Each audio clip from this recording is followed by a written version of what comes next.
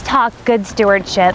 If you were to go to a Christian financial seminar, you would probably hear something to the effect of God wants you to take good care of His resources. He doesn't want you to waste His money, and He wants to make sure that you're being wise with His money so that it can grow.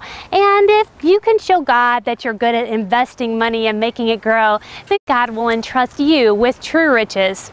Ever heard that? But consider this. The disciples of Jesus Christ who, you know, left their family businesses and gave all their money away. The widow at Zarephath who gave her last bit of oil and flour to feed Elijah the prophet. Yeah, she didn't give him an application to decide whether or not he was worthy. And Jesus obviously either didn't do a background check on Judas, didn't know his background, or didn't care. The widow who gave her last mite, these people may not be considered financial gurus. They may not even be considered good stewards by by many Christian financial counselors and pastors. But in God's book, they were considered faithful. How does God want you to handle your finances? Is it really more important to God that you're able to make your money grow? Or is it important to God that you're able to make your money go? Brothers and sisters, read the Bible and do what it says.